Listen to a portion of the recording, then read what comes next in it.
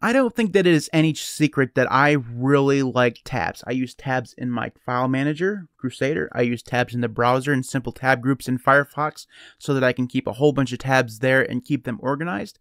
I use tabs in Vim. I use tabs in my Markdown editor. I like tabs. And I don't think that that is really all that unusual, but I do tend to talk about it an awful lot, or probably way more than anybody else. And that is a little bit nerdy, but I don't care. So I like tabs. And one of the things about i3 that I really like is that it also has tabs. Now, I've been very neglectful of this feature. I haven't used it very often in quite a while, and I'm severely disappointed in myself because I've gotten into using them again over the last couple days, and tabs in i3 are amazing. Like they're really, really good. And I'm going to talk about why today. But before we do, I want to thank everybody who's continued to watch this video up until now because it takes a certain type of nerd to care about tabs at all, but tabs and window managers, you like you have to be like an uber nerd. So, welcome to the club, my friends. If you're still watching this video, let's go ahead and talk about tabs in i3. Like seriously, let's nerd out. So, why would you want to use tabs in a window manager? Well, the reason why you use a window manager is to save screen space as much as possible, to have as much information in windows on your screen as possible. Now, if you have a gigantic 49 inch monitor, you can fit as many windows as you like on that thing. It really doesn't matter how you conserve space on that because you have a gigantic monitor if you or if you have like six monitors it's probably not as much of a priority to you to save space as it is somebody who's using like a 13 inch laptop you know what i mean so conserving screen space in a tiling window manager is one of the primary reasons why you would use a tiling window manager now, that is also the case for me. I am a big proponent of workspaces, and one of the reasons why I use so many workspaces is because I'm a little bit uninterested in having more than two windows on the same workspace. I really don't care for having t- more than two windows on a workspace. It really doesn't work for my workflow. And even though I have a gigantic 32 inch monitor here and a 27 inch monitor there, I really don't care to have more than just two windows side by side. If I have to have three, maybe I can make that work. I, you know, every once in a while I do. But for the most part, anything more than that, it just makes it look weird. So let me actually show you this.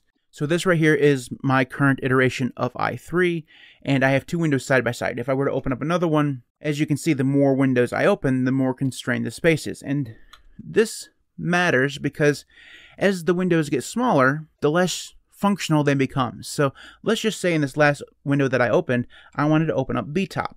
Now, BTOP is one of those applications that will just not run unless the window is at the minimum of a certain size. So it really requires something 80 by 24 in terms of rows and columns. Now, I could resize this, obviously. I mean, I could do something like this and, you know, this and this and all this. It, it would be a mess. Or if I wanted to, I could pop that out and make it into a floating window, do the thing that I need to do into it, and then close it. But the thing is, is that there's another way to make this work, and that is tabs. Now, there is one thing that I haven't figured out yet, and I've just kind of thought about it, is that if you're in a situation where you have windows like this, I don't know if there's a way to pop these windows into tabs. If that solution exists, I'd love to hear about that, because that'd be really cool. But let me show you what tabs look like in i3. So if I do Super Shift T, and I believe that is the default key binding. I don't think that I've changed it. I am now in tab mode. Now, basically the way tab mode works is that the window that you are in focus of will now be the source of all of your tabs. So if I open up another window, it should open up in a tab, and it does. Now, mine's going to look a little bit different than yours. If you're using stock i3 or you haven't done any configuration of tabs itself, you're going to end up with a title bar. Even if you have title bars disabled in regular windows like I do here, you would probably still end up with a title bar in a tab. And I don't prefer title bars at all. I don't like them. And I think they're unsightly and waste space, which is, you know, a little ironic given these gigantic gaps that I have, but you get the point. For me, I make the title bar exactly one pixel high.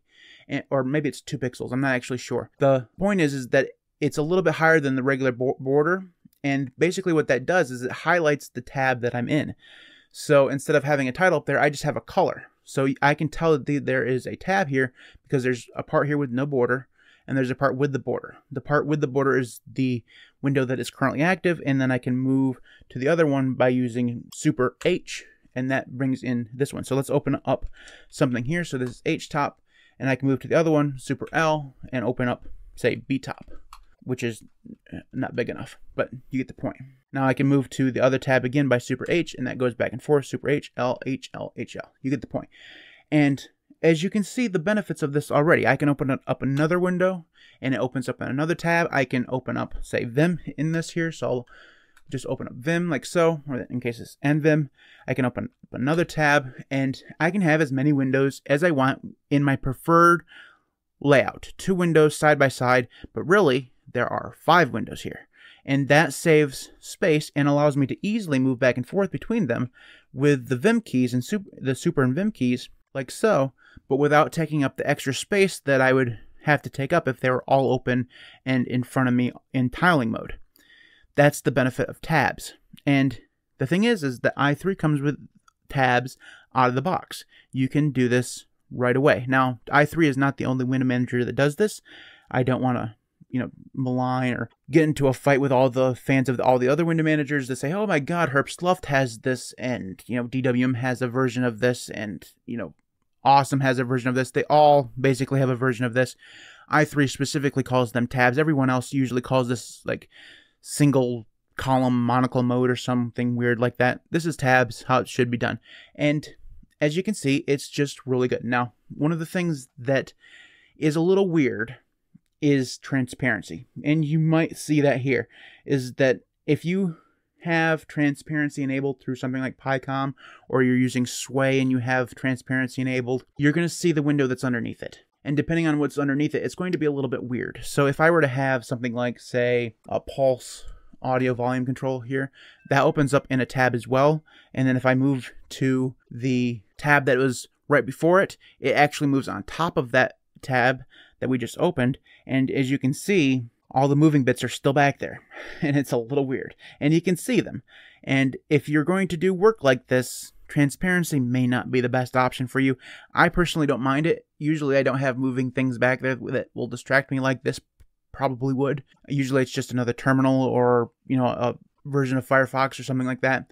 You know, whatever happens to be, usually it's not anything that's going to be that distracting but it is something to keep in mind if you're going to use this that transparency does mean that you're going to see the things underneath it. Now, you're not going to see all the things. Like if you are somewhere else in the stack and uh, you are using an application like BTOP or something like that, you're not going to see anything underneath it all that easily. Like you can, if you look really freaking closely, you can still see that HTOP is underneath there running, but it's not that visible you're only going to see one window underneath it, is what I'm trying to say. You're not going to see the whole stack.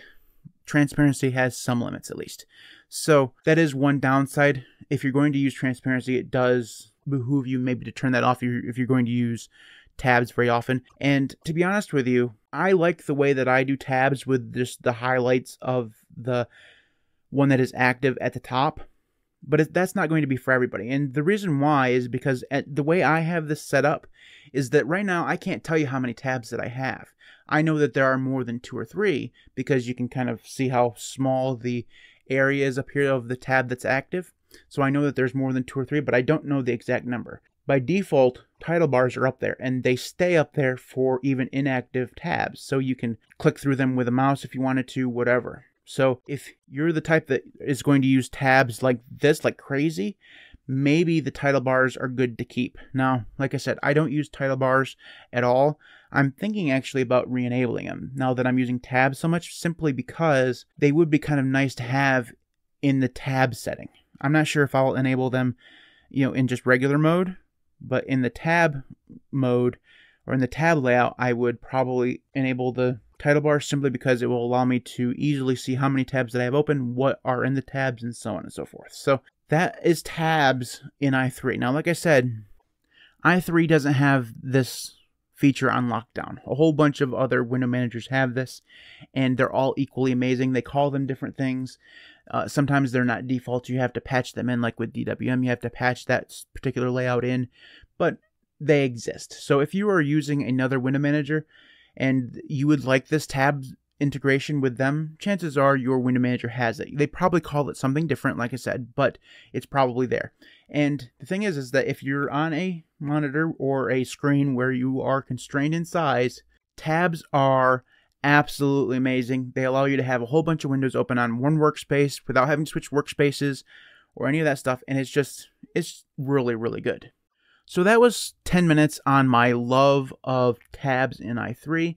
I hope that I inspired you to give this a try because I think that this will be useful for a lot of people.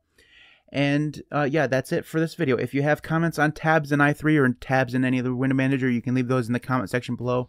I'd love to hear from you. You can follow me on Mastodon or Odysee. Those links will be in the video description. You can support me on Patreon at patreon.com slash linuxcast, just like all these fine people. Thanks to everybody who does support me on Patreon and YouTube. You guys are all absolutely amazing. Without you, the channel just would not be anywhere near where it is right now. So thank you so very, very much for your support. I do truly appreciate it.